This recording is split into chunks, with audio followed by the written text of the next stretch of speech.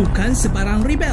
Nama Dr. Musa Nordin mula terkenal selepas kritikan keras beliau terhadap kerajaan kerana gagal menyediakan peralatan keselamatan yang cukup untuk pekerja hospital. Ramai ketika itu menyela malah ada desakan agar beliau dipecat. Namun kritikan beliau jelas berasas dengan tularnya gambar kaki tangan hospital terpaksa menggunakan plastik sampah untuk melindungi diri dari jangkitan COVID-19. Siapa sebenarnya Dr. Musa ini?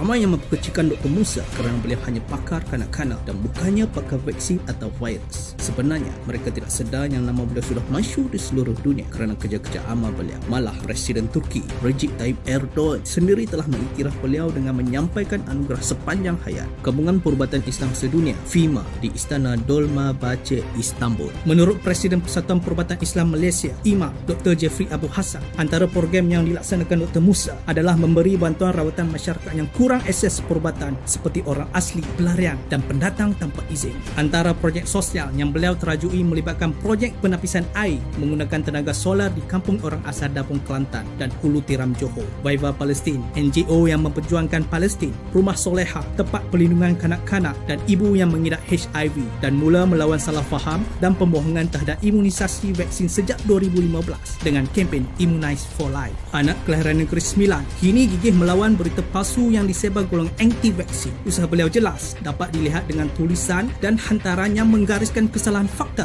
yang tular. Misalnya dalam kes Dr. Roland, beliau tidak jemu menulis di akhbar, malah muncul dalam TV Al-Hijrah untuk berdiskusi bersama para ustaz melalui Facebook dan menjadi bukti kesungguhan beliau melawan golongan anti-vaksin. Malah beliau dengan garang mencabar mana-mana anti-vaksin untuk berdebat dan mematahkan pembohongan mereka. Walaupun Datuk Dr. Musa Nordin kelihatannya seperti melawan bersendirian, yakinlah rakyat Malaysia terus menyokong usaha beliau. Terima kasih Dr. Nordin Musa. Anda wira yang tidak didendam.